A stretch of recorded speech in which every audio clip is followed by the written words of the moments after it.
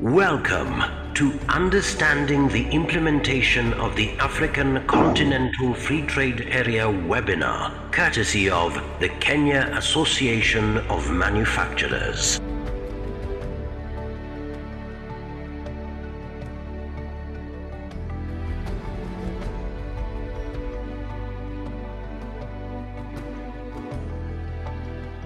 Welcome to Understanding the Implementation of the African Continental Free Trade Area webinar, courtesy of the Kenya Association of Manufacturers.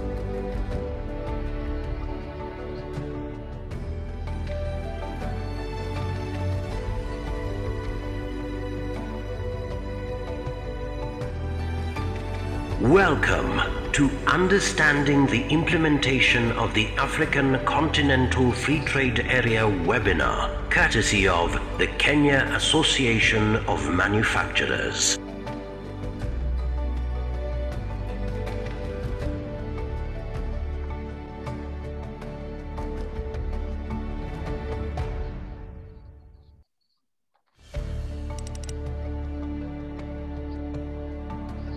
Welcome to Understanding the Implementation of the African Continental Free Trade Area webinar, courtesy of the Kenya Association of Manufacturers.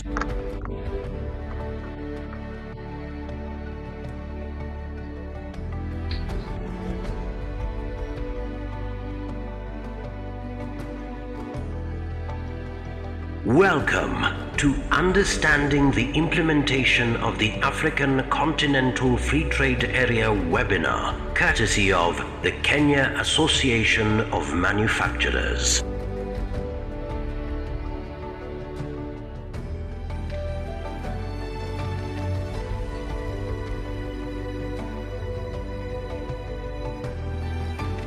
Welcome to Understanding the Implementation of the African Continental Free Trade Area webinar, courtesy of the Kenya Association of Manufacturers. The meeting continues today.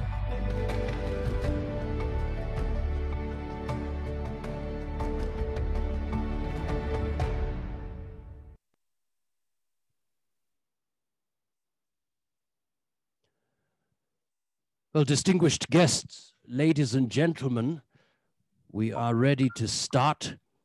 So let us settle in so that we can kick off this webinar. Tunajia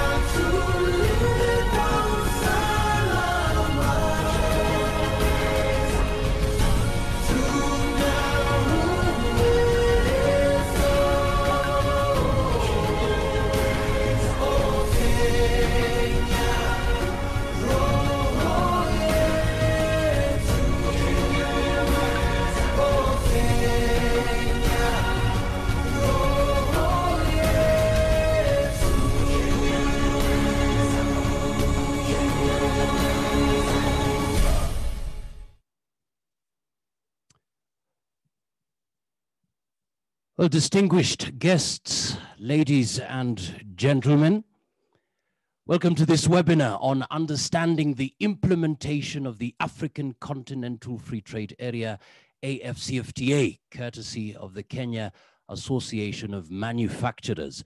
My name is Johnson Mwakazi, and I'm greatly honored to moderate this defining session for our continent. This is a high level discussion among AFCFTA Secretariat, the East African Community Secretariat, State Department for Trade and relevant Kenyan government agencies. This webinar is being recorded, so I kindly request you to mute your microphone unless it is your turn to speak. I will have the honor of inviting each speaker to speak when it is their turn to do so. In the meantime, you can post your questions and comments on the chat box. Now, ladies and gentlemen, the African Continental Free Trade Area stands out as a key flagship project of the African Union's Agenda 2063. It is a blueprint for attaining inclusive and sustainable development across the continent over the next 50 years. And just to appreciate the journey that we have taken so far, let us please listen in. This decade is the decade of African independence. Forward then to independence. To independence now. Tomorrow, the United States of Africa.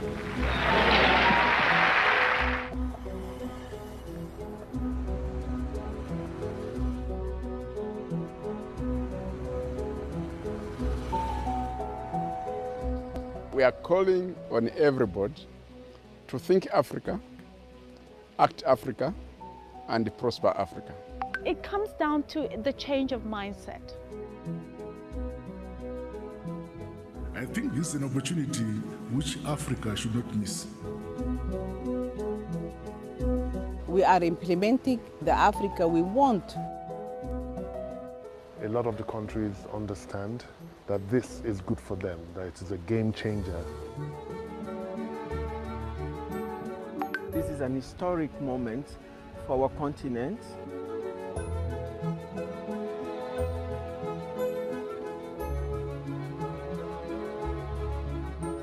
So this is entirely African driven. These African countries are making a treaty among themselves. So there you have it, ladies and gentlemen. As we appreciate the journey that has been taken, we also want to appreciate that for decades there has been a critical need to boost intra-African trade. And in this new era, the African Continental Free Trade Area is now providing a comprehensive and mutually beneficial trade agreement among the member states, covering trade in goods and services, investment, intellectual property rights, and competition policy. At the forefront, of course, is the AFCFTA Secretariat charged with various responsibilities related to the implementation of the AFCFTA hosted by Ghana. And just before we now kick in, kick off with our discussion, it would also be important just to note what was said by Ghanaian president earlier this year, starting first of Part January. of the growth and prosperity that we seek in Africa will come from us trading more among ourselves. The trading on the African Continental Free Trade Area, AFCFTA, it provides us with the vehicle for us to trade among ourselves in a more modern and sophisticated manner. It will offer a huge opportunity to exploit the abundant wealth and resources of our great continent for the benefit of all our people. And it will give us protection in how to deal with other trading blocs. With a collective desire for shared prosperity, we are confident that the AFCFTA will succeed and provide a new impetus and dynamism for the rapid growth of Africa's economies and deepen the process of integration in Africa. We owe it to generations unborn to ensure that the biggest trading bloc on the globe will be rewarding to all in to all in Africa. And in Kenya, the Kenya Association of Manufacturers is at the forefront, standing out as a dynamic, vibrant, credible, and respected business association that unites industrialists and offers a common voice for businesses. Now, to tell us more on the new AFCFTA market opportunities and manufacturers' expectations, please welcome the Kenya Association of Manufacturers Chief Executive Officer, Ms. Phyllis Wakiaga. Karibu sana. Um, thank you. Thank you very much, um, Mwakazi, for uh, the warm welcome and for moderating this session. Uh, good morning, everyone. Compliments of the new year. I hope that all of us are safe and keeping healthy in this new year. I want to take this opportunity, and it's really my pleasure and privilege to invite you all for the KAM AFCTA series. Uh, this is going to be a series of discussions on the African continental free trade area starting today. Um, so this will not be the end of this discussion because we see the opportunity that exists in the African market. Allow me to recognize some of the key guests that have joined us today. Uh, we have the representative of uh, the Kenya Bureau of Standards Managing Director joining us today. We also have the State Department of Trade uh, representatives uh, joining us today, KenTrade, uh, Kenya Revenue Authority, the Kenya Association of Manufacturers Chairman, Mr. Muchai Kunyiha, the Trade and Tax Committee Chair, Mr. Bharat Shah, the rest of the Kenya Association of Manufacturers board members, uh, sector leaders, chapter leaders, and members of the association. The fourth estate, ladies and gentlemen, thank you so much for joining us today. Um, I think looking at the videos that Mwakazi shared at the beginning, uh, it's really just a strong call to the Pan Africanism that we saw in the 60s that led to independence and a lot of the development then. And we had the Ghana president, Kwame Nkrumah, and the father of Pan Africanism say that Africa is one continent, one people, one nation. And nothing demonstrates that more than the AFCTA, and that is why we are here today. In terms of the benefits of the AFCTA, as a continent, it gives us endless opportunities uh, because it has tangible benefits uh, for all of us to reap from trading and under preferential terms uh, within the African continent. It also creates a borderless market for the 1.2 billion people devoid of trade barriers and restrictive tariffs. At least that's the ambition. The AFCTA also provides an opportunity for the enhancement of regional value chains for manufacturers, since the rules of origin will encourage sourcing of raw materials from the African continent. Manufacturers will also have an opportunity to trade with countries with whom we don't necessarily enjoy bilateral trade agreements. They'll also be able to enjoy the economies of scale that come from having a larger market and also have access to cheaper raw materials. It will also help us diversify and get into markets like West Africa and North Africa and boost international trade, create more jobs, enhance skills transfer, and also liberalize the movement of suppliers and, and supplies of goods and services. So in terms of the GDP, the AFCTA has the potential to improve the GDP of Africa as a continent, considering that we have the largest aggregate demand as a continent despite the fact that we struggle with purchasing power, we do have a huge population to benefit from these services. So, ladies and gentlemen, to hear, today we are here to unpack uh, the opportunities within the AFCTA and see how we can practically realize them as uh, African manufacturers, industrialists, and uh, even our SMEs, how we can access this market. We have amidst us serious practitioners, uh, people who have been on the forefront of negotiating this agreement in their specific areas. And uh, we'll be getting from them a lot of information that we can utilize as we plan this year to take advantage of this agreement.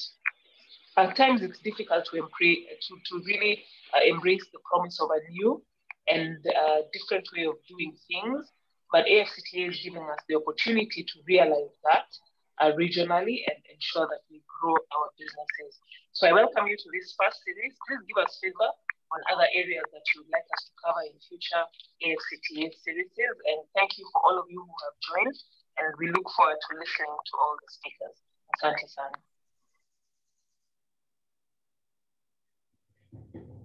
Thank you so much, Madam Wakiaga. Thank you so much indeed. Indeed, we're here to un unpack the opportunities in this really defining opportunity for Africa. And so that uh, for those who will be alive come 2063, according to the Agenda 2063, we can tell a different story of Africa, an Africa that stood out, made a decision to go into the new frontiers, to make a change and transformation for ages to come.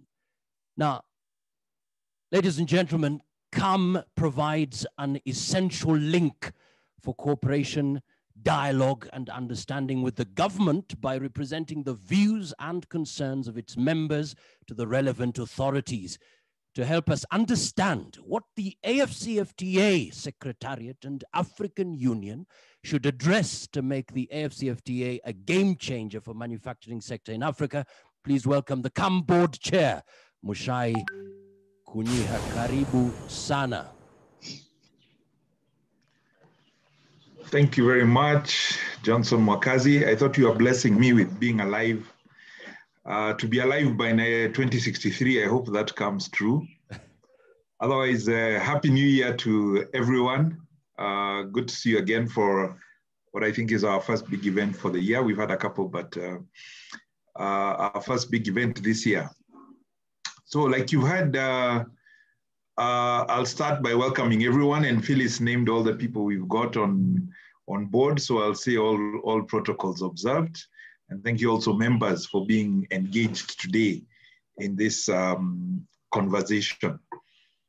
Now, the, the, this is an area where we, we work on in KAM is to keep our members informed and to have a future um, future looking perspective. It's not just only looking backwards and trying to deal with problems that, that come up, but also starting to look ahead. And I think for anybody doing strategy or thinking of manufacturing in Africa, the next three to five years, I think the Africa CFTA is going to be very critical. It's going to be something that is coming up. And as we'll be talking, you'll see that it's not here yet fully, but it is here. It is agreed. It is going to start happening. So we need to be um, prepared about um, for it and um, do the things that we need to do. Look at the challenges and also the opportunities that it brings. Now, obviously, the, the thing about the any free trade agreement is about trade liberalization. Whether it's with the EU, um, with the US, or within the EAC, we have the EAC, we have COMESA, and it's allowing people to exchange goods with each other and uh, in that way to compete. In some instances, I think, and what uh, economic history now has shown us is that well-structured open borders help all countries. Not only the recipient companies who import goods, but also it helps the people in the country, their businesses to be more competitive and to be able to export because it opens markets uh, for them. So in a free trade area, there'll be no uh, tariffs. There should be no uh, barriers. In fact, they are both uh, tariff barriers and non-tariff barriers are being opened up. And what we want to do in Africa is do that because literally in Africa today, there is very little trade that occurs between us. And I think the point to note is that it is not that there is no trade in Africa. It's just that we're not trading with each other. So people are buying uh, materials, but they'll buy from uh, China, they'll buy from Europe, they'll buy from the US, and possibly they would have bought from each other. So it's about the substitution of the trade. Uh, instead of going, um, say, international or go to other markets, what can we do for each other? What can we supply to each other and grow in that uh, space? I think um, the studies I've seen by the United Nations Economic Commission for Africa, they predict that we can increase our trade in Africa by 15%, uh, from 15% currently, about $15 billion, to $70 billion by 2040. And 2040 is not very far. We used to think 2020 was far, 2030 was far. It's not far. So that, that would be a huge jump and would help us um, greatly as manufacturers, that is just opportunity because that trade would mean it is us buying in, whether we are buying in raw materials or taking finished goods or even pushing raw materials the other way. But that trade would help us um, grow in a certain, in, in a big way. Because sometimes we are always looking for markets, and one of the key things that KAM has been doing for members, or we in our advocacy, is looking for markets, new markets uh, for our goods. And this is these are some which are nearby; they are close, and we do have opportunity. I think the thing for us is to find those opportunities and be sure that we are, we are competitive in those opportunities and do what is necessary to get there. But it's fair to say also that uh, our free trade area is going to bring us challenges as well, because we are now going to get a bit more competition from other countries, uh, neighboring countries as well, who may have uh, investment. Everybody is going to be growing their investment, growing their manufacturing, and those goods would, would be coming in. So all businesses need to look at that and say, where do I have a key competitive advantage? And if already there is somebody in another African country who seems more competitive than me in manufacturing, what can I do? What are the things that I need to change? Do I need to upgrade? Do I need to um, um, upskill? Do I need to focus on particular areas so that I'm competitive uh, in this market? Do I need new investment? So these are the kind of things we must start thinking about if we are going to continue uh, surviving through this period. But the opportunity is big. And I think that's the main thing we need to look at. We, we can look at the small bits uh, of the challenges that is going to give each one of us. But what we need to look at is what is the opportunity? And like we heard from uh, Kwame Nkrumah, and those were 60 years ago, people were already dreaming about how we would have one Africa. And that story is repeated and over and over again. It is not like we don't need to grow our African continent. It's not like we, we are already wealthy and doing well. We have a huge task ahead of us to grow our economy. So we must take all opportunities, um, try out all ideas, and see what we can um, achieve. So on 1st January 2021, the Africa CFTA was launched. And it has, in that sense, started on the road. But we know that there's still a lot to be done, and there are a lot of challenges to make it a reality in many ways. I think we know the obvious ones is like logistics. We, you know, getting goods even across East and Central Africa would be difficult, let alone West Africa and North Africa, and that's um, going to be continuing work for the coming years. I think we already have trading blocs and we are we are going to need to sort out how those work, whether it's EAC, COMESA, SADC, um, ECOWAS, all these are going to need to be sorted out and the tariff barriers across this. There's a lot of technical work that needs to be done to make it happen. And this again is an opportunity for us to be forward looking because we can actually input in that technical work in the structure of what is going to be coming out in the future as, um, as the actual free trade area. So we need to participate to be aware. Um, and like Philly said, this is just the first of many seminars. It's going to be a long, uh, it's going to be a journey. But if we participate, we can actually help craft what comes out of this, um, this whole process. We have some countries who haven't joined, and we are hoping we can get more of them to join and that's um, happening also at the AU level and with, with other uh, countries. I think um, there, will be a lot of, like I said, technical things on customs procedures, um, rules of origins, uh, the tariff negotiations, and it's important that we participate in them. At KAM, we are starting uh, to do an analysis of them with the different sectors, and we hope the sectors will, will cooperate and uh, contribute so that we can have a good position for our country in terms of what we are, we are going to be growing. So I think I see a huge opportunity for us with the African Continental Free Trade Area. Um, we cannot really grow our manufacturing base if we want to become a, a manufacturing base without exports. Um, exports are going to be, if we're going to really turn that key to uh, 15%, 20%, 30%, it is about exports. So with our neighboring countries who are nearby, we need to look at what are the opportunities there, what can we export in those markets.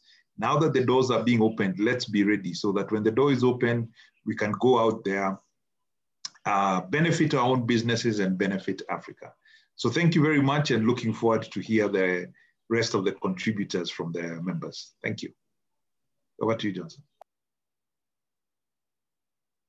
Thanks. Many thanks, Bwana Chair. Appreciate your contribution there.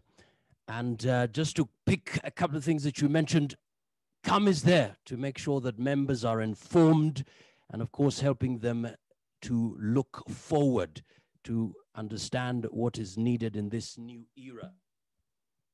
And there is something, of course, you mentioned, yes, and the big question, 1st of January, 1st of January 2021, the much touted date for the commencement of trading has passed. Is it all systems go?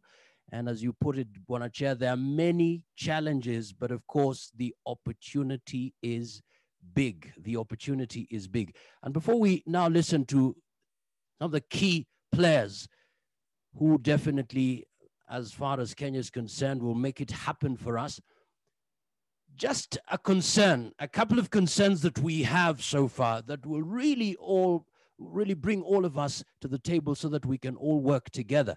Number one concern, AFCFTA customs manual for use by business community, which AFCFTA secretariat need to publish and interpret in the official languages in the 54 countries is yet to be published and circulated. That's a challenge.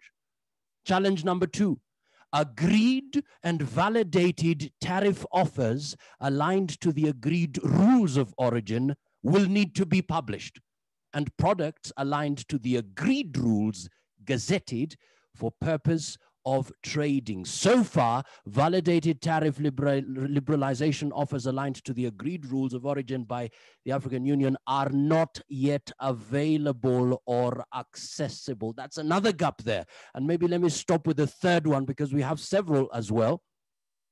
The third one, the third concern is agreed rules of origin need also to be gazetted as the remaining rules are also gazetted.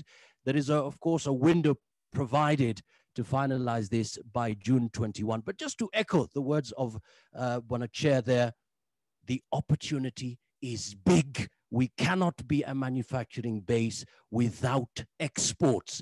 We must be ready. And there is one particular party, a key player in our country that is consistently at the forefront, making sure that we are always ready and to really talk to us about how KEBS will implement the product standards under the AFCFTA trade regime. Please welcome Madam Esther Ngari, Director, Standards Development and Trade. Karibu sana.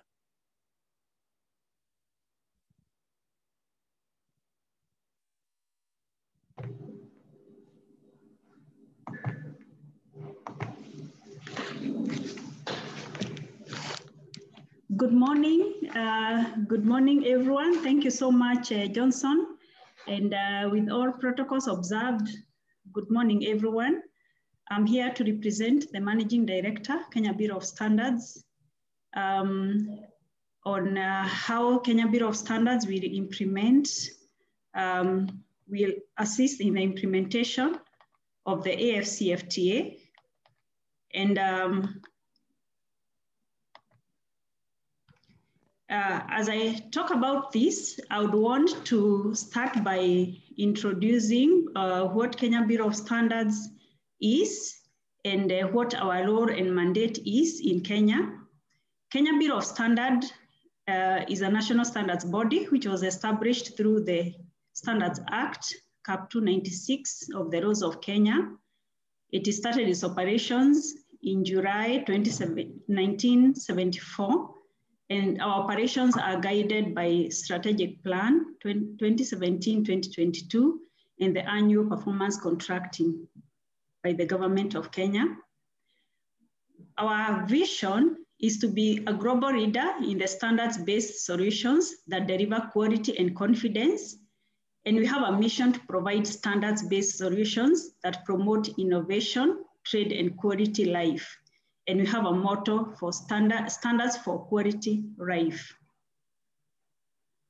We have four core values that guide our operations, and those are integrity, uh, we maintain very high level of independence that assures confidence. So all the operations that we do, uh, you can be sure that we are accountable, honest, trustworthy, and respectful, and we carry them uh, under ethical uh, in our all our actions.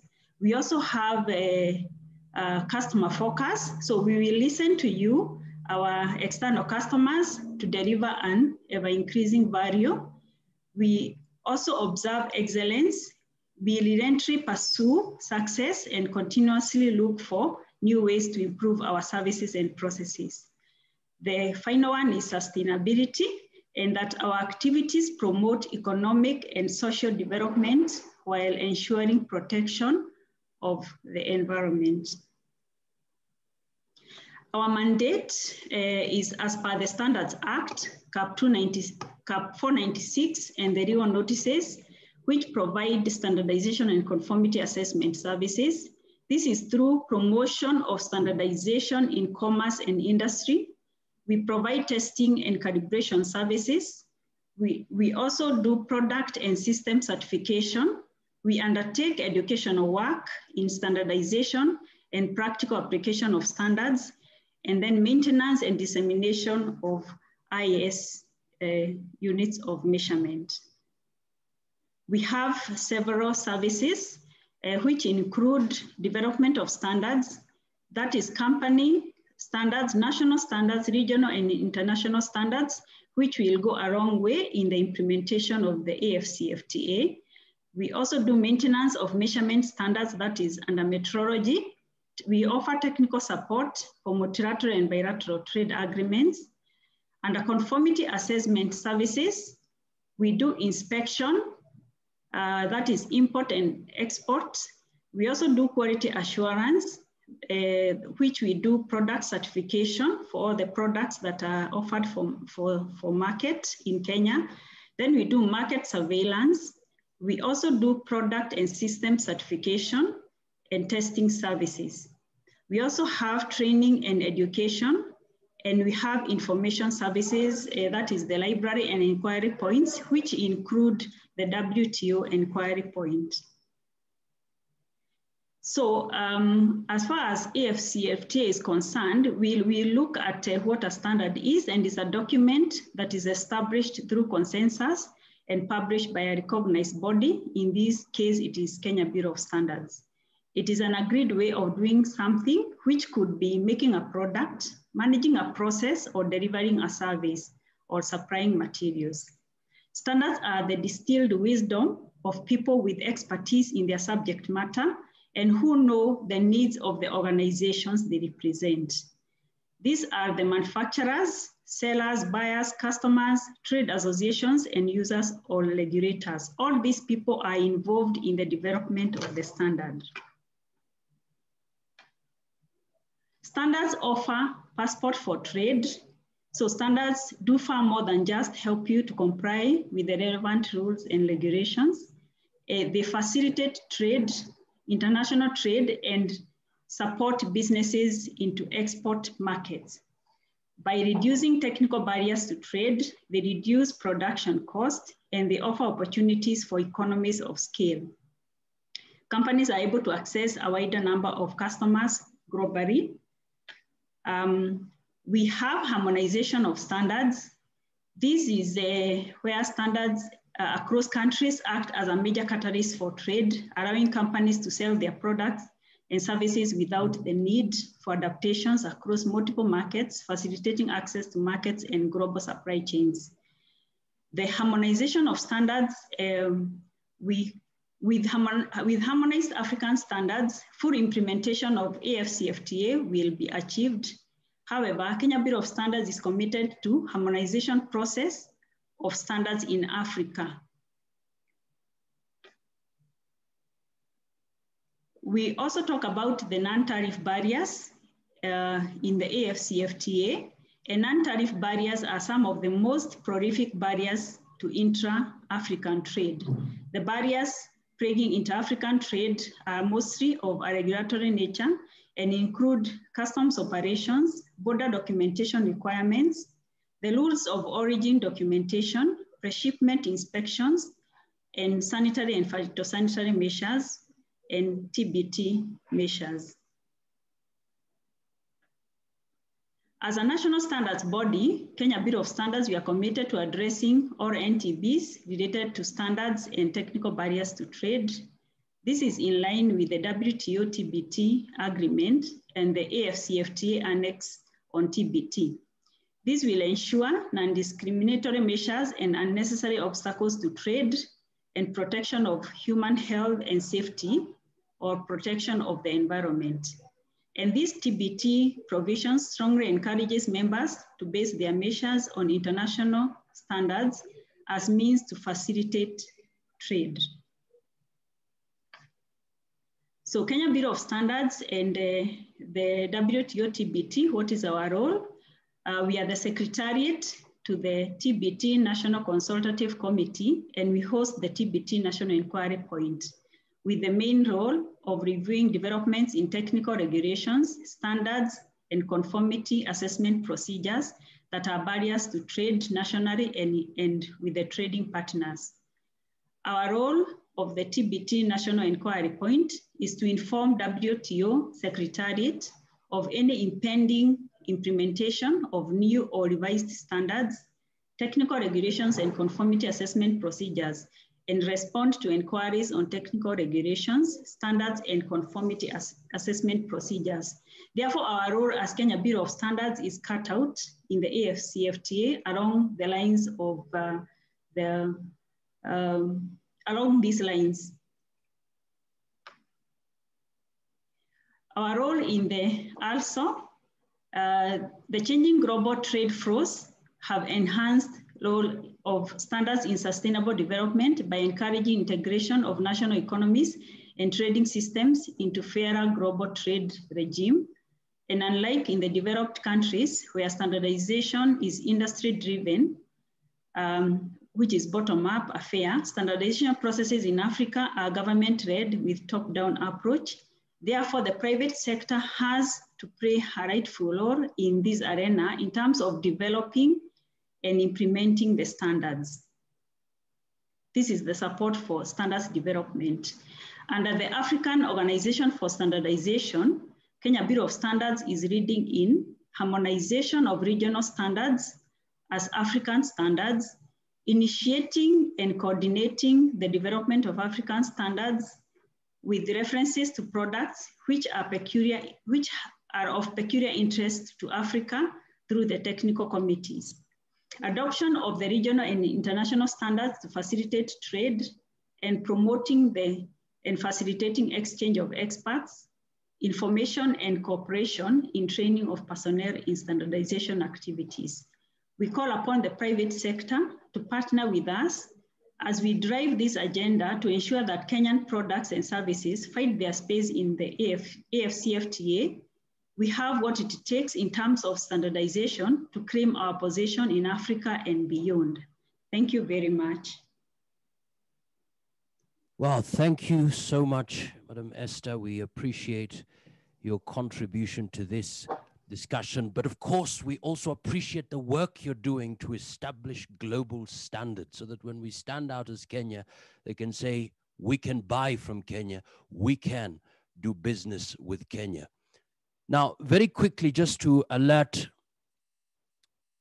alert all our participants, please please note you have an opportunity to actually post your comments or even questions via the chat box. Please utilize it. And uh, very quickly, just to pick up a, a, a comment here from uh, uh, George Achola. George Achola says, as we push the agendas of the AFCFTA in Kenya and East Africa, we need a communication medium that KAM can use to communicate effectively to the uh, industrialists. We have the industrialists uh, who are ready to engage, uh, who could not be here today, but they need this information. So this is actually a question uh, that I hope towards the end KAM will engage, but will, will, will, will respond to. But just to let you know, this is the first of many sessions we will have. We've just started the journey. So thank you for your questions. Thank you for your comments.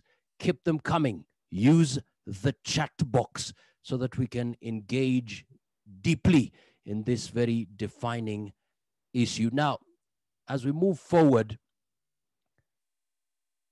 we were expecting the secretariat, the AFCFTA secretariat to be here, but there is something that also the board chair, Kunyiha, you mentioned, that also the secretary general really spoke about, and really the need for us to be at the forefront in supporting this initiative and not just look at the challenges.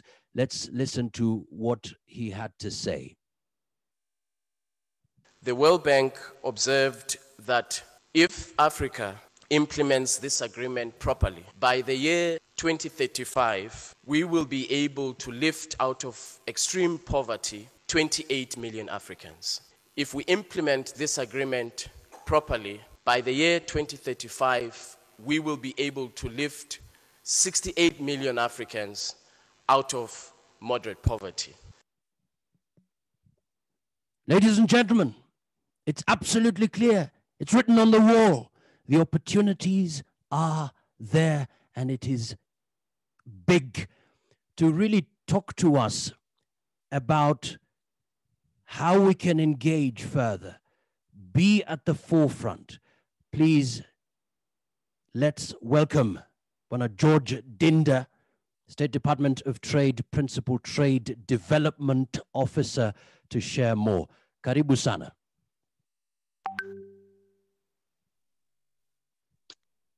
Uh, thank you so much, uh, Johnson Mwakazi. Uh, good morning, uh, the panelists and all participants. My name is George Dinda, as has been mentioned, um, representing the State Department for Trade. I would also appreciate uh, if um, the admin could make my colleagues, I've seen Gladys is on call. I've seen also Josiah teacher on call, if they could be made to be panelists so that in case there are many other questions, they could also help to respond. Um, uh, moving up to my presentation, basically I want to look at uh, the background, which um, I, I, saw Wakiaga had mentioned, even the chairperson had mentioned. We look at the objectives of the CFTA, what are the outstanding work, and then most importantly, we will look at um, uh, the state of play of Kenya's readiness to trade under the CFTA, and then what we perceive to be our way forward. Um, the next slide basically gives us a background. And uh, the, the, the, CFTA was launched uh, way back in 2015 uh, when the, the, the assembly, 25th Ordinary Assembly of the AU that was held in uh, Johannesburg. Then in 2018, the agreement was signed by 44 countries. Remember that during that, uh, in, that was in Kigali, uh, also, the, the protocol on the movement of persons, uh, rights of establishment also was signed together with the protocol on uh, trading goods, trading services, rules and procedures of dispute settlement. And of course, the CFTA is a flagship uh, program of Agenda 2063 on boosting intra-Africa trade. Currently, uh, it's a big market, a population of about 1.2 billion people, and an estimated um, uh, GDP of, of over 3.4 trillion US dollars. Um, the CFTA currently uh, recognizes uh, eight regional economic communities. Some people maybe ask, will, will, will it erode uh, for us who are in EAC, will it erode the EAC or COMESA? No, the CFTA will use uh, the regional economic communities as building blocks. And so uh, the RECs will continue to trade as they are trading currently. The article provides the preservation of the acquis. And so uh, we will still continue um, our trade under EAC as we are, even though the CFT has come into place. So the, the CFTA will not get rid, will not erode the benefits or the levels of integration that we already um, have in, in, in, in the regional, existing regional blocks. Um, basically, the scope, um, the safety is divided into three phases, phase one, phase two, and phase three. And the phase one basically deals with trading goods, trading services, and then I mentioned rules and procedures of dispute settlement. Phase two uh, basically will cover a protocol on intellectual property rights, will cover a protocol on investments and competition policy. Then the assembly in that met in February last year uh, agreed to have a protocol on e-commerce. And obviously, we've seen the role of e-commerce during this COVID uh, period. But then again, there are discussions to have phase three negotiations being done uh, concurrently with phase two negotiation. The deadline for this has been set to be uh, December 2021. The next slide um, uh, basically looks at the level of ambition. And um, um, on this, this on trade in goods. And uh, we have three categories. We have goods that have been categorized as uh, uh, category A, that is 90%. And then we have sensitive and exclusion. And sensitive and exclusion basically takes care of uh, the sensitive areas or a, or a country's sensitive areas, the areas that they want to, to protect. But it doesn't mean that you cannot trade in them, okay? Uh, like for example, the exclusion list as a, as a clause for review after every five years. And uh, well, the, the, the belief is that, I mean, you, you, the areas that you're protecting, you'll have built capacity in them over five years. And so they can be included, they can be gradually included for trading. Uh, and so we have, uh, for countries that are, and, are less developed, uh, will, will uh, face down their tariffs on the 90% for a period of 10 years.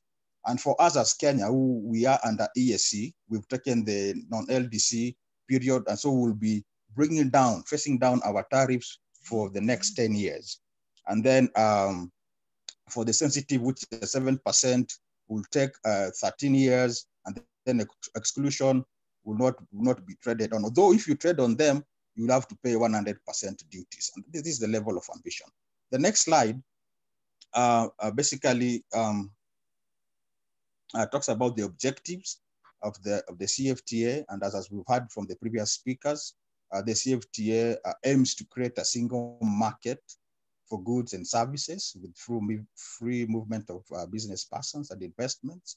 And again, uh, it, it, it, you know, it, it aims at expanding intra-Africa trade. And you know, the levels of intra-Africa trade are very low. Uh, they are below 15%. And so we see the CFT as, as, an, as an avenue through which we can increase trade.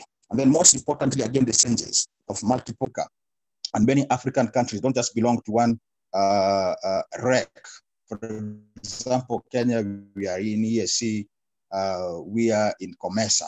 You know, Tanzania is in EAC and is in SADC. And so this multiple membership in RECs you know, the CFTA, uh, by harmonizing the rules, you know, will, will uh, in a way try to resolve this challenge. Again, uh, the CFTA aims at uh, uh, enhancing competitiveness uh, of the industry and enterprise level. The next slide. Um, the next slide basically gives us a snapshot of what the current status is.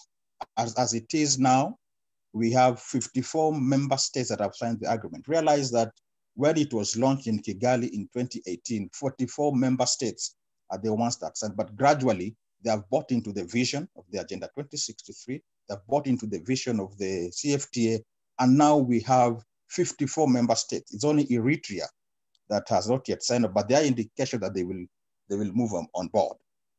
Um, so far, we have adopted protocols on trading goods, trading services, rules and procedures on the settlement of disputes.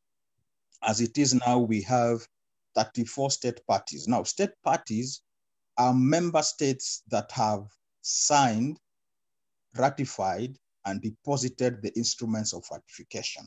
So when we say a member state that are ratified, ratification means you, you've gone through your national processes. If you need a cab cabinet approval, uh, and, you, and then after cabinet approval, maybe it has to go to the parliament, and then has been approved by the parliament, then it is deposited with the bureau of the chairperson of the AUC.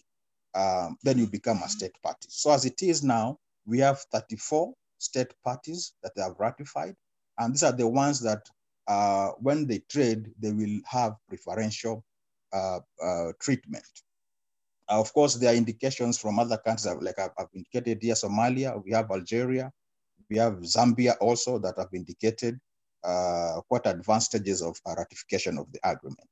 Uh, we have 41 submissions on tariff offers Um, and by this is this is by December we had 16 on uh, specific commitments on trade or trade in services. But of these 41, there are only 33 state parties. So that means uh, uh, the only 33 state parties that have submitted are the ones that will be able to trade preferentially under the CFTA. Of course, realizing that we need to have a commercially uh, meaningful trade, uh, the, the Council of Ministers, and of course this was adopted by the Assembly, extended the date of submission of tariff offers to June 2021. So that means that um, we'll be expecting more, more offers to come. We've been given opportunity to uh, deal with, with the other outstanding issues that are there so that uh, we can have commercially meaningful uh, trade within the CFTA. Phase two negotiations on investment and IPR have commenced, um, and we've had capacity building activities and uh, on, on investment from throughout last year. We had our first meeting on IPR uh, also in, in last year. Phase three negotiations, like I mentioned earlier, uh, will be will be merged with, they'll be, they'll be negotiated concurrently with uh, phase two, and that the deadline have been fixed for, for uh, December 2021. We hope we'll have concluded all this. In terms of the trading documents, uh, uh, and this touching on the rules of origin, I mean, uh, the rules, the certificates of uh, origin, we have concluded uh, the security features. And these documents now are to be circulated to state parties so that they can be published and also put online. Um, and then we have an operational portal uh, for reporting, monitoring, and elimination of on NTBs, which I've given you the website there. We have also an online, uh, just if you, could, uh, if you could go back, yes, you also have an online uh, portal on Trade Observatory. And the Trade Observatory is a dashboard that consolidates all continental trade data and statistics. So for example, if you wanted to understand the market requirements in, in Egypt or in Mauritius or in Senegal or Seychelles, you could just go to that dashboard and then you will see, on a click on the button, you get all the information, the prices, the, uh, the SPS conditions, the TBT, all that will be provided on, on, on the trade on the trade portal.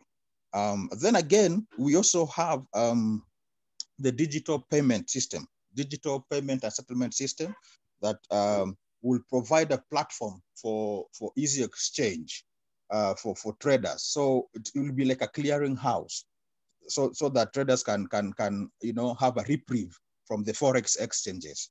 Um, and then of course we have an online portal for negotiation uh, both for trading goods and trading services, but this is for government to be able to, to trade. Okay, the next slide is on um, uh, the submissions, which I had alluded earlier. And I said that there are 41 submissions, and these cover four customs union. That is the EAC. Um, and under EAC, um, we have two countries that are, that are highlighted in red that have not, two partner states that have not ratified. Uh, though we have given uh, a common tariff offer, uh, Burundi and uh, uh, United Republic of Tanzania have not yet ratified, um, though we have a common offer as EAC. Then moving to SACU, you have Botswana that has not yet ratified the agreement, but they have given a common offer as SACU. So there you have Lesotho, South Africa, Namibia, and Eswatini. Then coming to CEMAC, Central Africa, you have uh, actually the, the only legally um, or legal tariff offer that so far has been given that covers the, the, the, the, three levels, 97 and 3 is this is the one from CEMAC. And CEMAC has, as all its uh, member, member states of that community, uh, all of them have ratified. They include Cameroon, Central African Republic, Congo Republic, Chad, um, Equatorial Guinea, and Gabon. Then moving to ECOWAS, you have Benin, uh, and Liberia that have not yet ratified, okay? Though they have given a common offer. Then you have other countries that do not belong to any custom union that have also given their offers. And those that have given their offers that have not yet ratified include Malawi, Madagascar, Seychelles, uh, Democratic Republic of Congo, South Sudan, Zambia, and Mauritania. So these are the countries that have been given up to June 2021 to ratify the agreement as, as we con conclude the negotiations on tariff offers. Then the next slide, uh, Manasseh, uh, basically um, looks at the key outstanding issues. And there, there, there, the, there are three key outstanding issues. One of them is on the rules of Bwana George, Bwana George, allow yes. me to cut you before you focus on the key outstanding issues.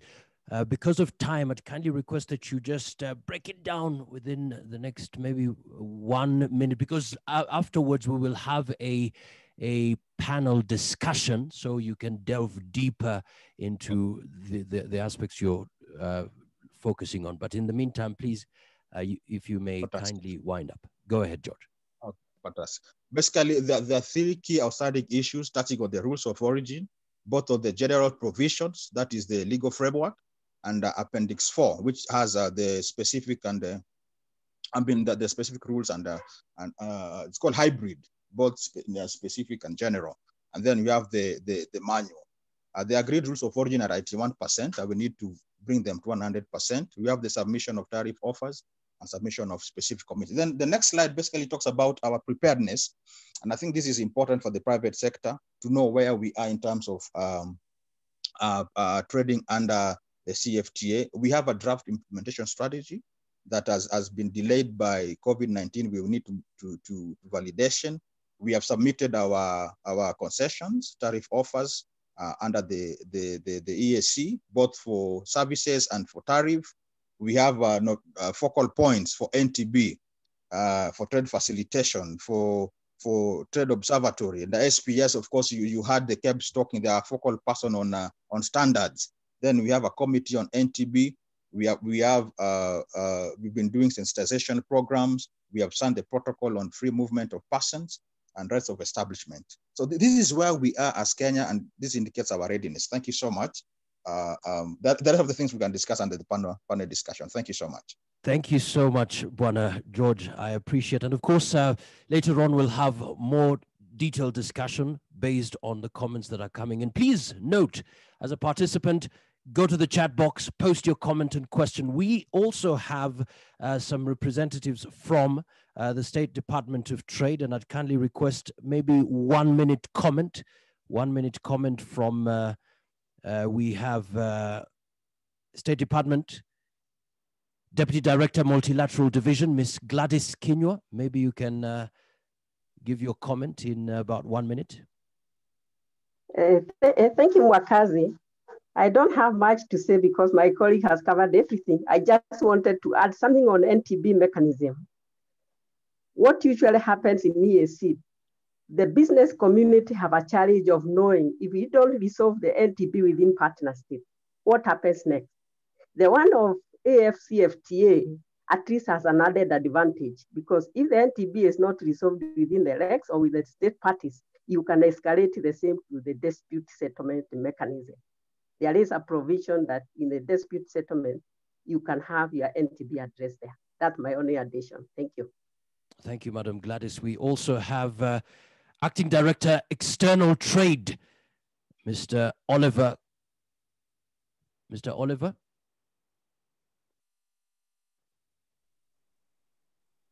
All right. Well, thank you so much. Uh, of course, go, ahead, go ahead. Just, just an addition. Mwakazi, yes, sorry, there are there are 34 uh, uh, ratifications. I'd indicated 34, now there are 35. Sorry, I, I just forgotten to update. Malawi is the latest addition. So we have 34 countries that have ratified. Right. Thank you so much for that clarification and assurance that indeed all the countries are coming forward with their commitment. Now, very quickly, we want to focus on the other side of Kenya, still focusing on trade, and to tell us more about how prepared still we are, I'd kindly request uh, we have one of our panelists who is ready. This is Trade Facilitation Director, Ken Trade, talking about online infrastructural development in Kenya to support AFCFTA Customs Procedures and Market Access Information, Madam Rose Rono. Madam Rose Rono. Thank you, Johnson. Uh, I don't know if uh, I can be able to present from my end. Sure, sure. Okay, then I think you'll need to stop presenting what's on the screen. Go ahead, go ahead. Okay, thank you, thank you. Let me know once you have seen uh, my presentation, then I can be able to so We can see it. Okay, thank you uh, very much uh, for this. Um, my name is Rose Rono. I'm a Director Trade Facilitation at. And today I'm representing my CEO, Mr. Amos Wangora, who would have wanted to be here, but uh, because of other commitments, uh, he was not uh, able to be here. So um, I'll take you through a presentation on the online infrastructural development uh, that we have put in place as a, as a trade facilitation agency in Kenya uh, to support the uh, Africa Continental Free Trade Agreement. So for those who have not interacted with the KenTrade before, we are a state corporation that was established uh, in January 2010. And our principal objective is to facilitate international trade. And also we implement uh, and operationalize the single window system. So those who heard about the single window system, uh, I'll also you through uh, an, an, understanding of what it is during my presentation. Our parent ministry is the National Treasury. We work very closely with the, the Department of Trade uh, uh, since uh, our mandate is in facilitation. So we work very closely with them in several of, of, the initiatives that are there. Um, our vision is making a difference in trade facilitation. And I'll just go ahead to just, uh, you know, uh, taking you through the online, online infrastructural supporting uh, support that uh, KenTrade has for this new agreement that promises to transform the continent. And uh, one of them is a single window system that Kenya implemented uh, in 2013.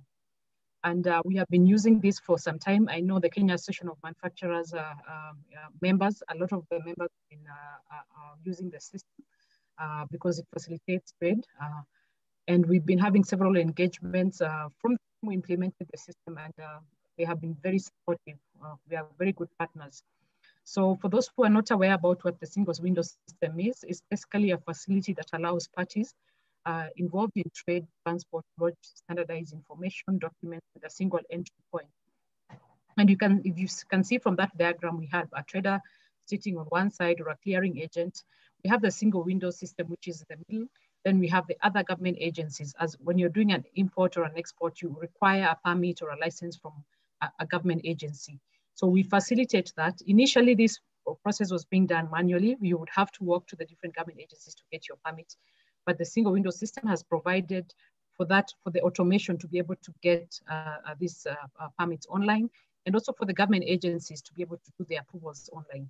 It also has a payment, uh, a payment leg whereby you don't have to go and do the physical payments, but you can be able to pay online uh, through the integration that we have had with, with KRA through the iTax system.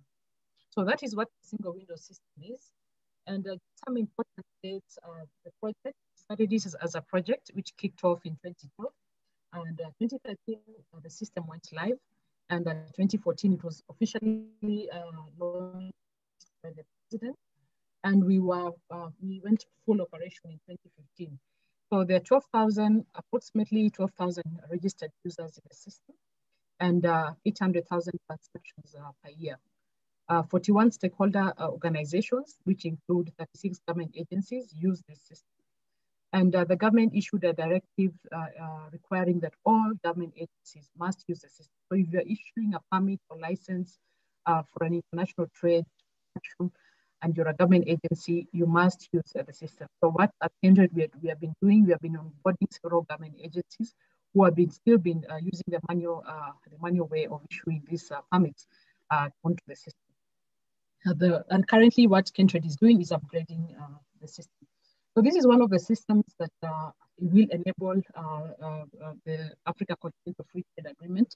And as Kenya, we have gotten onto it very early, as, far, as far back as being operational in 2015.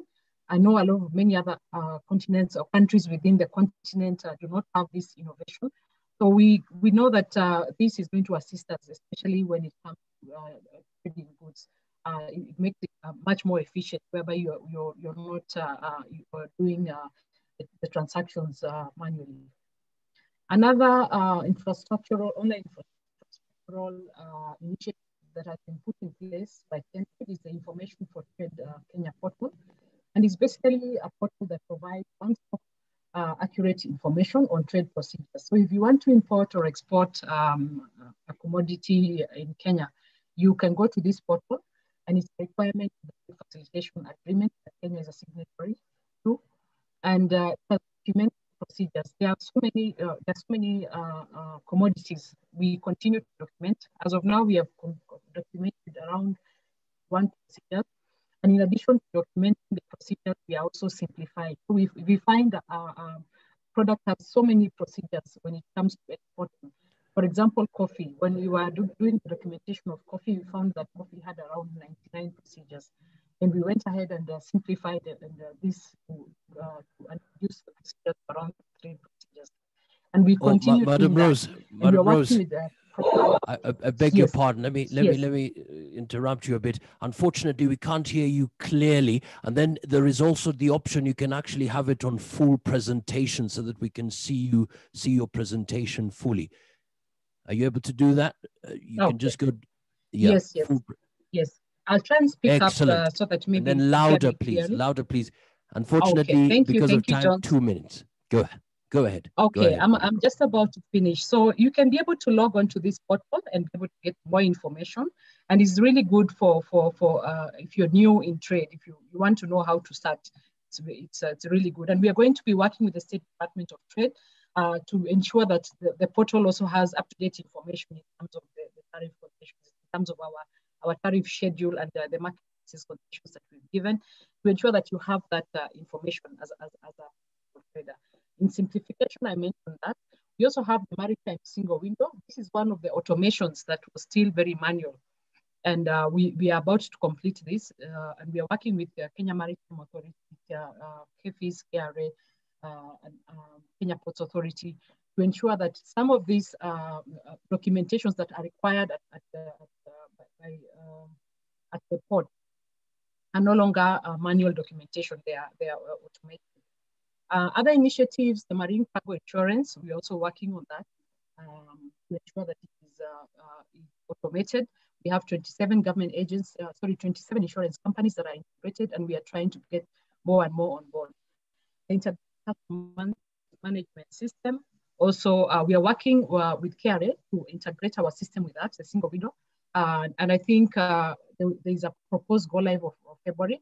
And uh, with this go live, we're going to see uh, uh, more automation of um, more automation of, uh, of the international trade processes and less paperwork. We've also automated the duty remission um, module. We've implemented the risk management module, which just assists government agencies not to do full verification of all cargo arriving. They can be able to choose and see which cargo is more, you know, which, we, we can do uh, intelligent, you know, uh, uh, risk management in terms of verification of cargo. In terms of uh, data, we have implemented the uh, business intelligence tool in working with Market Africa, and this will be very important with the with the Af African Trade Observatory. We are looking forward to possibly a partnership whereby we can be able to use the business intelligence tool to be producing a report to be of will be of great help to the trading community. We have the trade logistics, information platform.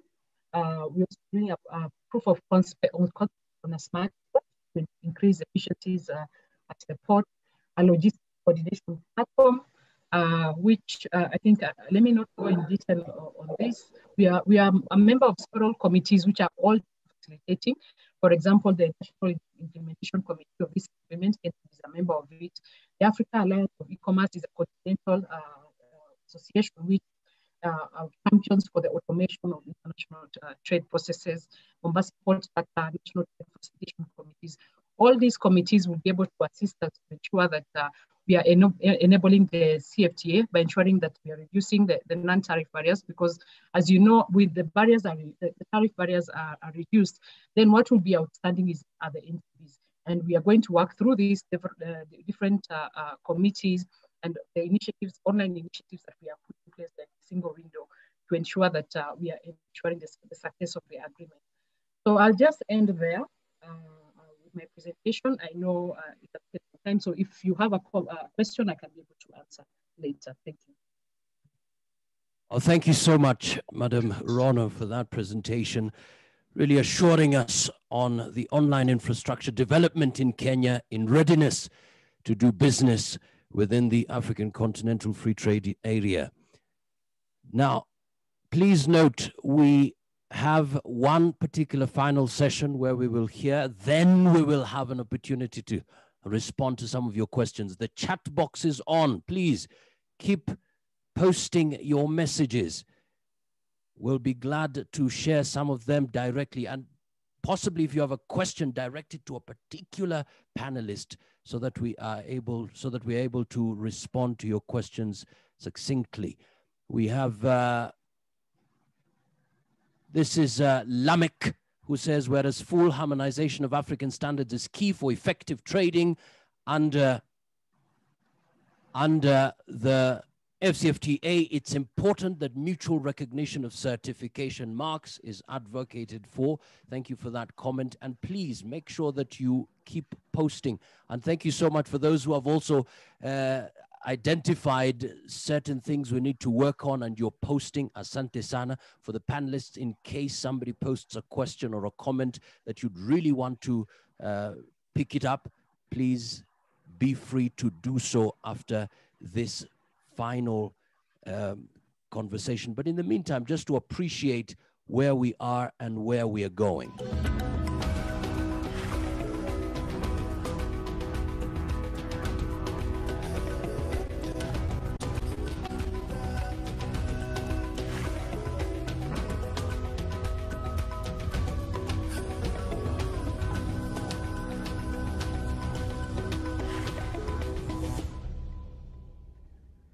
So we ought to be ready, all of us together, to be ready to participate.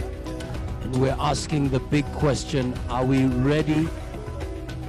But for us to be ready, we must understand how we can implement the African Continental Free Trade Area. Earlier on, I mentioned a couple of issues that we will still have to deal with and that is, of course, in regards to the Secretariat. Uh, for instance, there are software applications which are incorporated in various customs departments for purposes of recognition of products and applicable tariffs from member states, which are yet to be installed. All right, we have another one here. Border stations need to be equipped with trade facilitation infrastructure, including access to software, manuals, and tariff schedules for them to practically allow the intra trade to flow. These are concerns that we have, but we are saying the opportunities are big. And maybe one more concern. Customs personnel at various border stations, including the business community in member states, have not yet been fully trained or even sensitized on how they will go about in executing the AFCFTA trade. But I am here to say that we want to celebrate the Kenya Revenue Authority that is actually at the forefront in making sure that we are well informed is as even as we prepare to engage with the rest of Africa and to tell us more about the transactions we can make, please, our first presentation, please welcome Ms. Maureen Wanginda, Assistant Manager at Trade Facilitation Division, Interregional Trade, talking about how Kenyan companies can begin to engage. Karibu sana. Thank you so much, Kenya Association of Manufacturers Management, our day's MC, uh, Johnson Mwakazi. Um, all protocols observed. Good afternoon. My name is Maureen Wanginda from Customs, and uh, I'll be taking you through the role of Customs, uh, uh Kenya Revenue Authority, Customs and Border Control, um, role in implementation of AFTA. And uh, we have our technical um, rules of origin uh, officer who will be taking us through the um, customs procedures and what is expected and the documentations that we require in the implementation of AFCFTA. So next. So um, the background has been, we've been taken through the background by trade, by our colleagues uh, from trade. And so I'll go straight to the run of customs. What is our run as customs? One is uh, revenue collection, trade facilitation, border control and security, uh, collection of international trade statistics and uh, negotiations and enforcement of international and regional agreements. And um, at this point, this is where KRA has been at the forefront in supporting negotiations at all levels and um, for, for us to have a smooth implementation. And since we are the people who are the, the, the people manning the uh, entry and exit points, then it has been important for us to go through the whole process of negotiations and um, supporting the negotiating teams. So KAVATA will be taking us um, through customs procedures and um, the documentations that are required for implementation of um, AFCFTA. So what, uh, what is the role of KRA and what have we done so far? So, so far we have um, submitted the vocal points. Uh, we also, we've also circulated the signatories. Uh, we've done, we are in the process of printing and publishing the trading documents, that is the rules of origin certificates, the declaration forms. And uh, we've also, we're also doing the adjustments to customs um, procedure management systems. We have a new system, the ICMS, that uh, we are trying to align with um,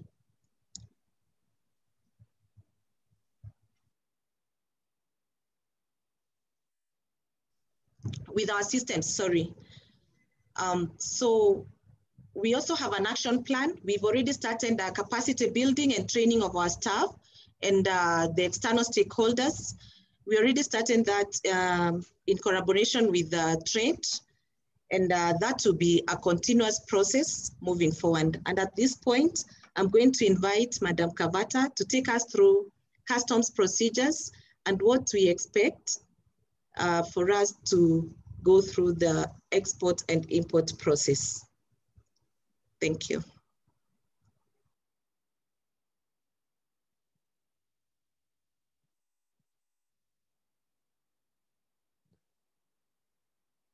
Thank you so much, Madam KAVATA.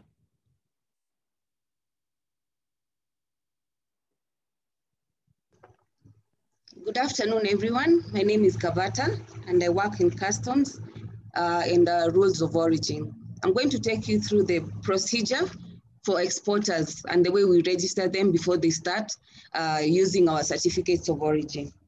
Currently, Kenya is implementing five trade regimes. We have the EAC, COMESA, GSP, AGOA, and the Euro 1. So the first step, the exporter will apply. We have the applications form in our KRA website for those exporters who intend to export under the preferential trade regimes. And once they do the application, we go do physical verification at their premises within five days of receipt of the application. Once they, they qualify, we put them in our database and then they can start purchasing the certificates of origin every time they're exporting their consignments under preferential trade agreements.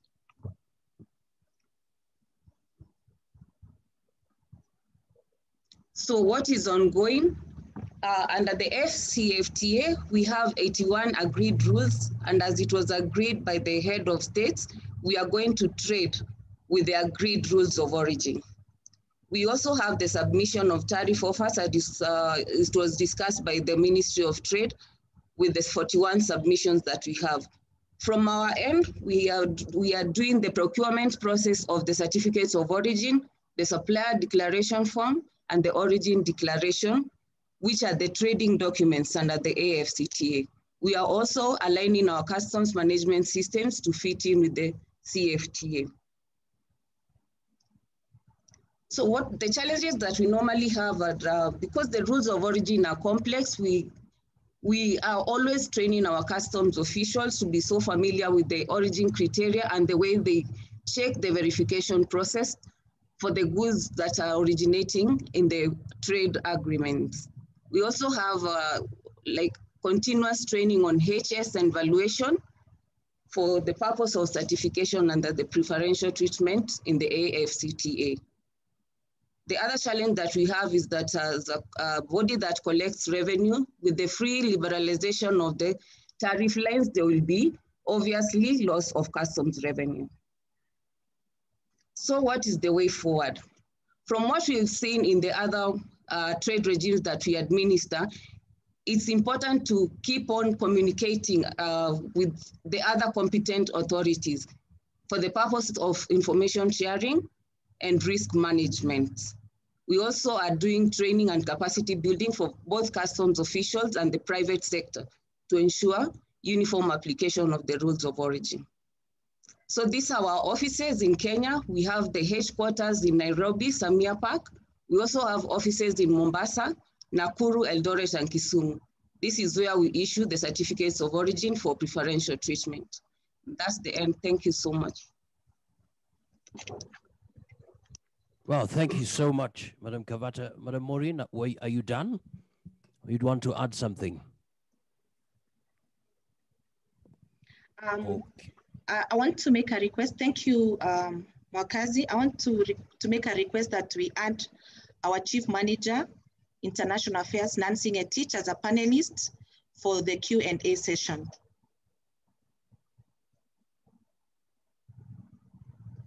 Senior Teach, that's all right, noted, Asante Sana. And, and definitely... I'm sorry, I forgot, we are here on behalf of our commissioner who is um, engaged in some um, in other activities. So we're here on behalf of our Commissioner, Madam Pamela Ahago. Sorry, I forgot to mention that at the beginning of the presentation. That's all right. Thank you so much indeed, Madam Maureen Wanginda. We also heard from Madam Kavata Mutuku, and now we also have Madam Nancy Ngetich, who will also be part of the panel to respond to some of your questions. We're now ready for your questions. And of course, we'll be looking at some of the comments that you have sent. Please go to the chat box, post your questions so that we will be set to get the valid responses from our dear panelists. But before we start, just appreciating what we are getting into, that is in regards to the African Continental Free Trade Area. This is a story all the way from Benin. Please listen carefully because, because it will give us an understanding as to why we must be at the forefront, regardless of the challenges we may have so far.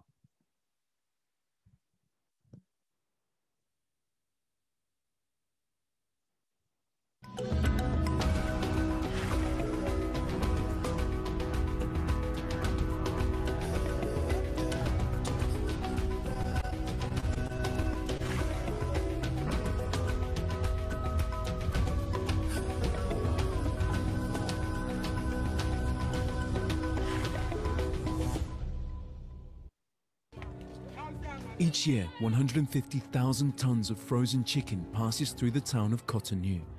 Cheap cuts from Brazil, the United States, and from Europe find themselves on these market stalls at knockdown prices. At his warehouse, Kenneth Adeho impatiently waits for his delivery. Several thousand frozen chickens, direct from French farms. Etienne, viens prendre ce carton là, tu attaches. In Benin, He's a big name in frozen chicken. Thanks to his French connections, he has access to the biggest names of the French market. Business is good, but he's not boasting about it. Pour être honnête avec vous, je ne suis pas fier de vendre des produits congelés importés. Au moins aujourd'hui, si je commercialisais ne serait-ce que 10% de la production locale, vous voyez, j'aurais dit que mon pays aussi produit quelque chose. On ne produit rien. 100% de tout ce que je vends aujourd'hui à la population provient de l'extérieur.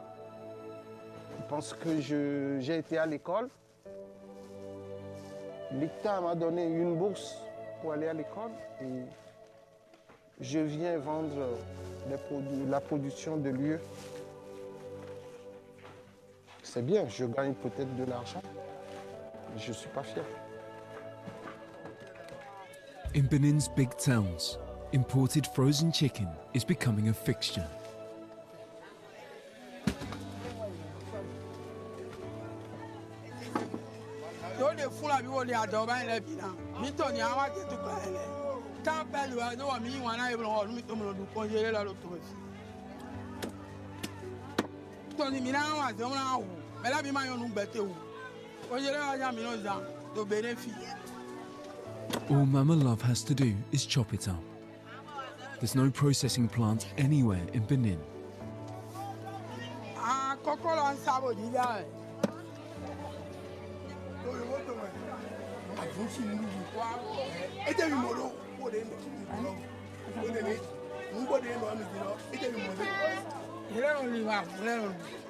àkọ́kọ́ lọ ń sábò jíjà ẹ̀. àfúnṣì nínú wa ẹ jẹ́ mi mọ̀ ló nọ kó de ní n kó de nọ mi jìnnà ẹ jẹ́ mi mọ̀ ló. ìrẹ́ òun lè wà fún lẹ́nu mo kàn ń bẹ́ẹ̀ mi sábà yìí lọ́wọ́ inú bẹ́ẹ̀ hàn mí ní ma mọ̀ gbọ̀ngàn kan bí ọ̀wẹ́ mo rò kó ń lé àná mi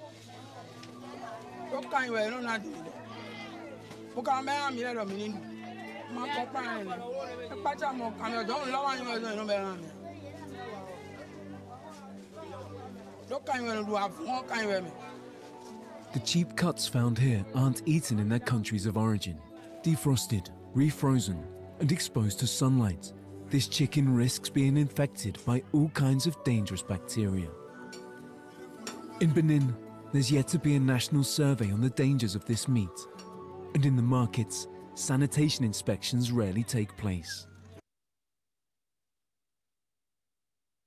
has been the plight of Africa for decades. Chip imports from other countries, from other continents. And we are here, and today we're saying, okay, we have this particular platform to change the history, but are we able to give quality, standard products that other countries can say, yes, this is African, we take it.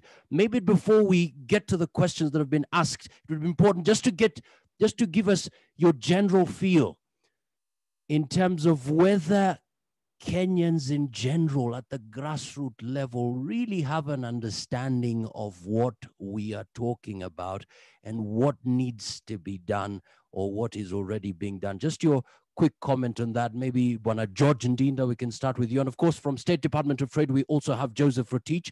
Bwana George Ndinda, uh, just your thoughts on that story and in regards to also Kenya and the way forward. Just a quick comment.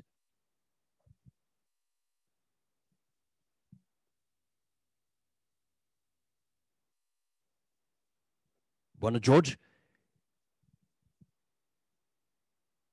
All right. Maybe I can also we can also get a comment from Madam Esther Ngari, where you know we're talking about standards. Are we really ready in terms of making sure that other countries can say, you know what, this is Kenyan, and we are ready to take it so that we can push forward this African dream. Just your comment, Madam Esther.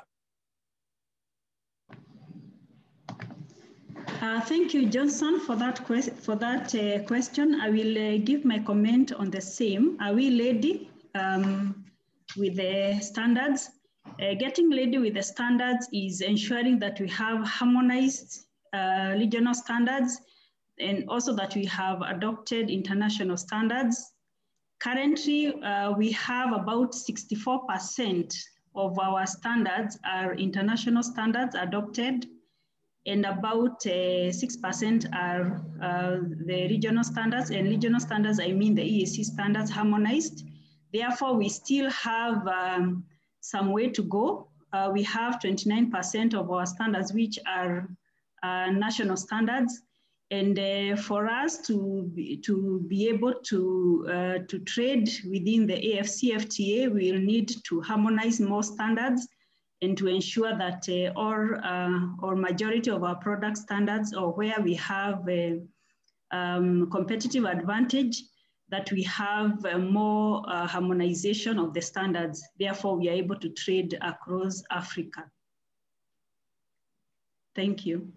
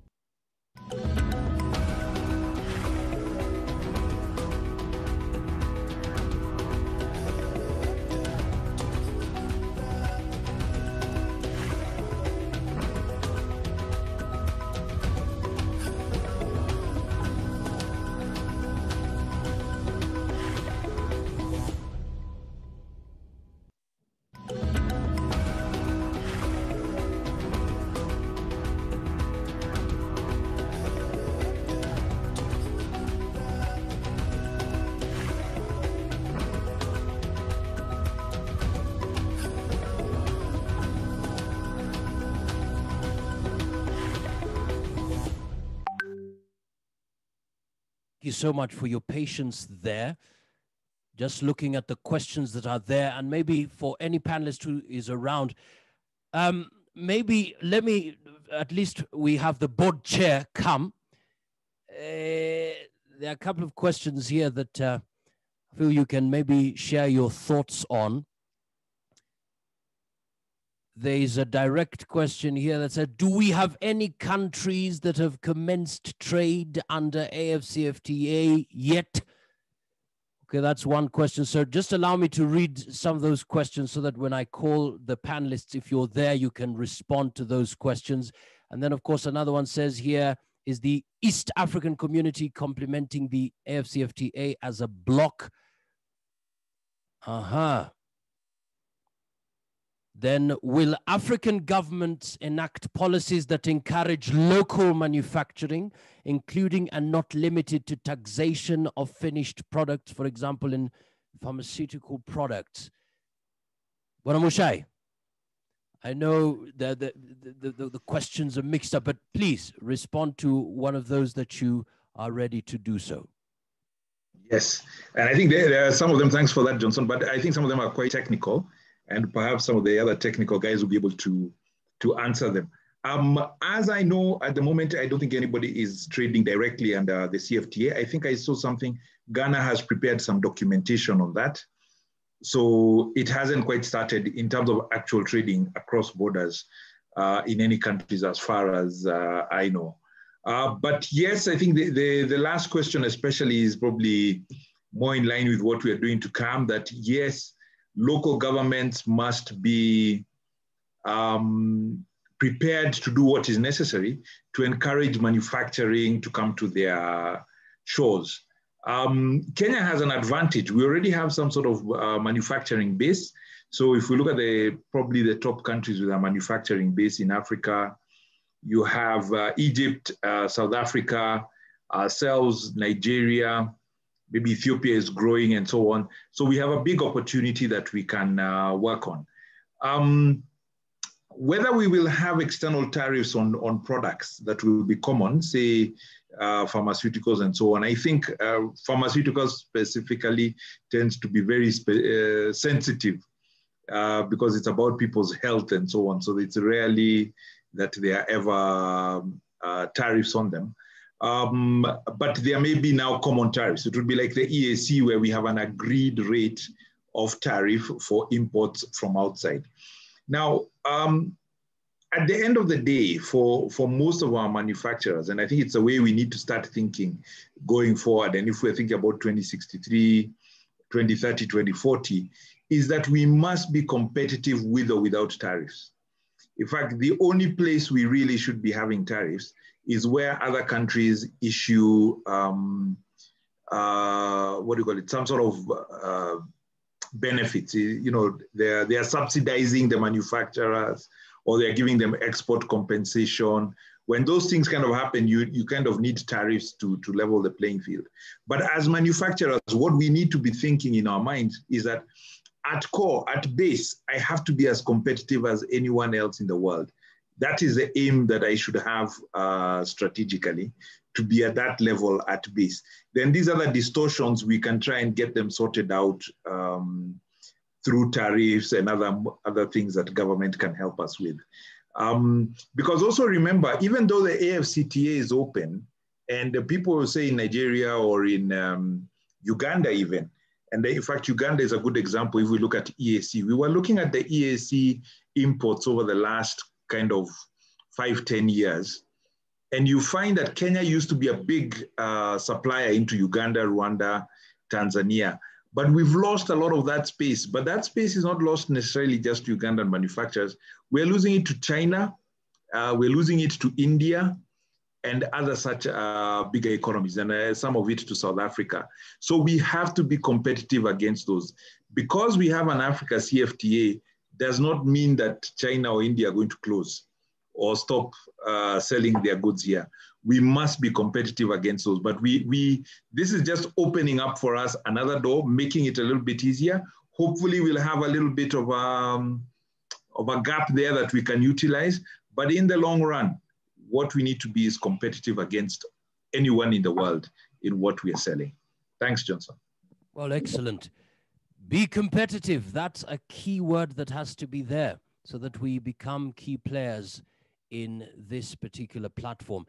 But maybe if uh, Madam Wakiaga is there, there was a there was a there was a question here that I felt maybe you can respond to. How will AFCFTA promote inclusion of women in trade? What gender specific barriers will it eliminate to make it easier for women to penetrate the market in the African continent? Maybe if you're still there, you can uh, just give your comments in regards to the inclusivity aspect when it comes to the African continental free trade area. Um, Johnson Polly, I missed your question. Right. It's about that? the inclusivity. And this is a question from uh, Mora. Yes. Mora says, How will AFCFTA promote inclusion of women in trade? What gender specific barriers will it eliminate to make it easier for women to penetrate the market in the African continent? Basically, inclusivity when it comes to Okay. trade. Um, thanks. Thanks for that. Uh, because these are real issues. Uh, the gender disparities have led to less women participating effectively in sectors like the manufacturing sector and also in trade. Uh, and I'm sure that uh, through the AFCTA, these are some of the areas we want to, to have addressed. So what I can commit, I don't have a specific answer on specific clauses that will do that, uh, but it's something we will pick up and ensure that uh, as we finalize the details of the agreement, uh, issues around uh, gender and inclusion are included. Uh, but I'll ask the technical people working on the agreement on the panel uh, whether they can make reference to any specific clauses on how the AFCTA will seek to do this. Thank you. All right. Thank you so much, Madam Wakiaga, for that. Uh, Maureen Wanginda, are you still there? Good afternoon, uh, Mwakazi. Excellent. Thank, thank you so much. Yeah, this is Kari- Nancy Ngetich. Excellent. Ah, thank you so much, Madam Nancy Ngetich. There was a question here. Somebody says, uh, when do you think realistically Kenya Revenue Authority will start charging the new tariffs on goods imported from South Africa, for instance?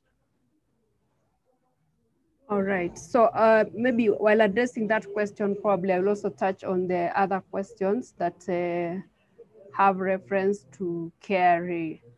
Yes, so in yes, regard to that, I think like, uh, we, yeah, thank you. We, we all aware that uh, last week, ending on Saturday, there was a meeting at uh, Accra, of course, on the implementation of the AFTA.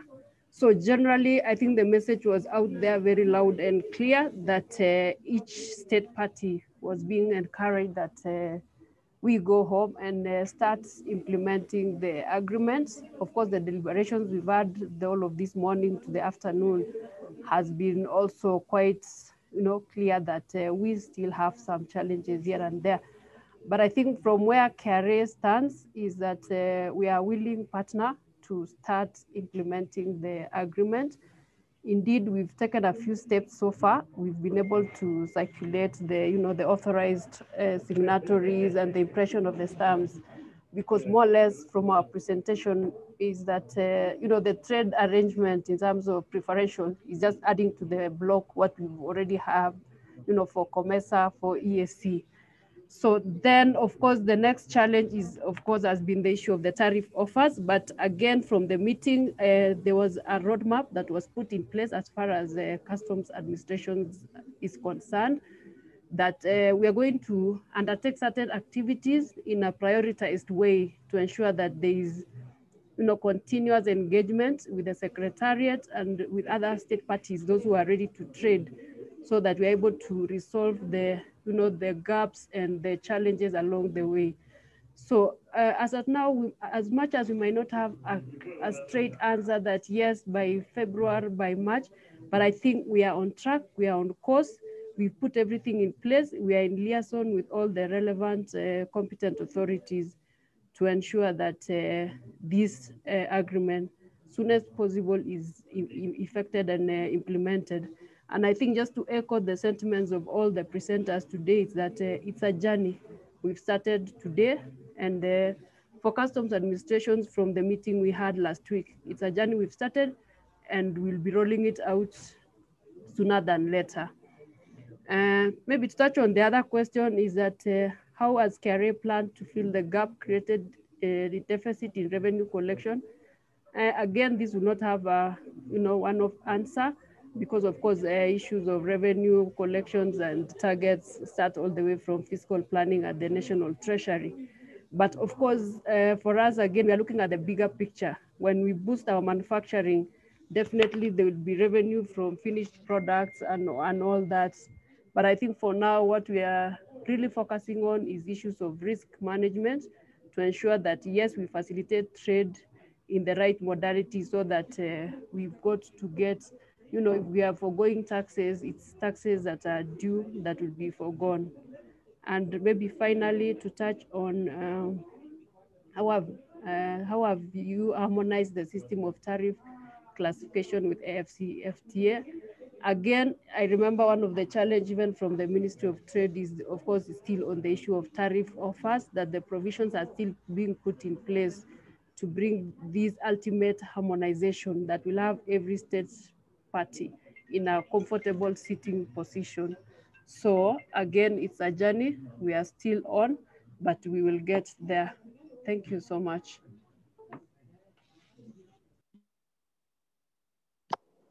Can I? Can Thank you so I much, Madam Nancy. Something?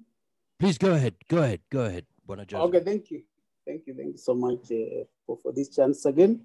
I just wanted to to, to, to add something about what uh, what has been said by KRA in terms of uh, harmonization of the EAC tariff offer. I, I think it's about the EAC tariff offer. What what I want to say is that uh, for this offer to be to be legally binding, it must meet the, the, the, the required standard. One of the required standards is that it must have been submitted as one offer.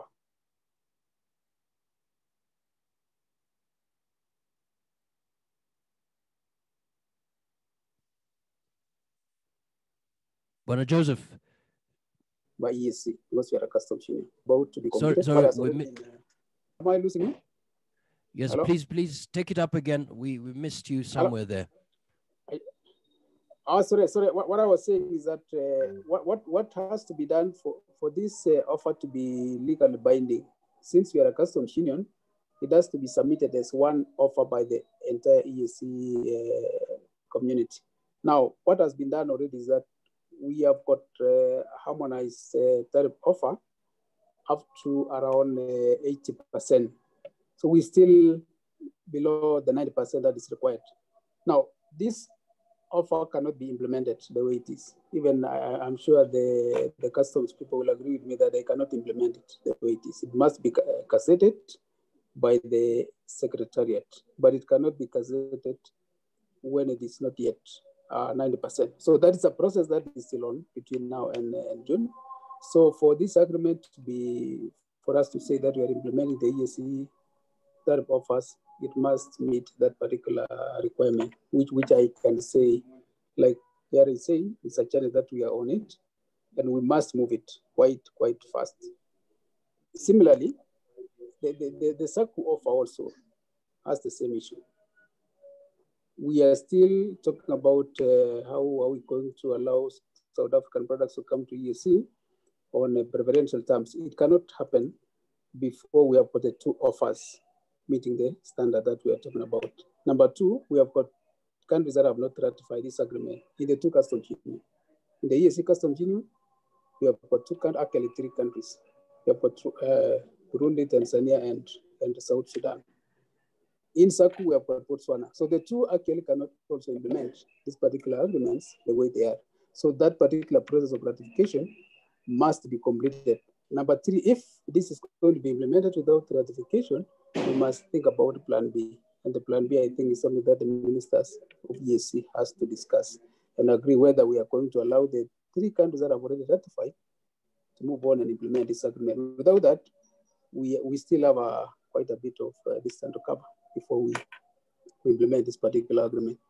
Now, the other thing that I wanted maybe to comment, if you allow me, is about the, the the harmonization of standards. I think this one is uh, it is something that is in process also.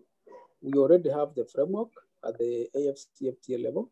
We have got the annex that talks about standards, talks about SPS and the harmonization bit. So the, the, the only thing that is still remaining is for it to be done. How soon it can be done, I think it is something that still has to be discussed and, and see how quickly we can implement this thing. The, the, beauty about it is that we are not starting a totally, totally new process. We have been in FTAs for quite some time, in the EAC, in COMESA, and, and others. So it is about uh, implementing that something that we have already been doing. It is about uh, okay, maybe widening the, the area after the African Union. Otherwise, it is not something totally new. So it is something that is in the process, and I, I, I, can I can assure the private sector that it may it may not take too long time. The last uh, thing that I wanted to comment about uh, is that uh, there was a question asking about how many are there countries that have already started trading on this uh, CFTA. The answer that was given, I think, was okay. Ghana has already sent some consignment to South Africa already, apart from the ones that are preparing to send to, I think, Benin or somewhere. But if you look at it uh, critically, it was done on a bilateral basis. It was not done on the basis of the CFTA.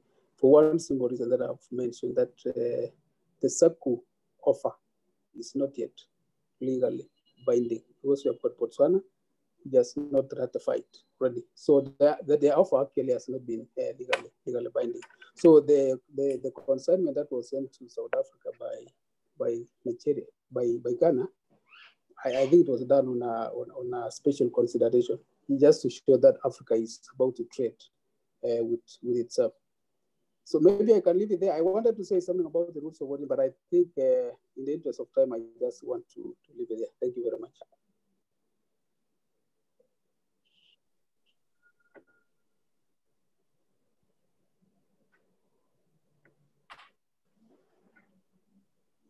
Uh, Bwana Mwakazi, I think uh, I've been told that earlier there was a question for us on um, on the, on the issue of uh, whether this information uh, mwananchi wa kawaida ameipata. I don't know whether this will be a good opportunity for us to respond.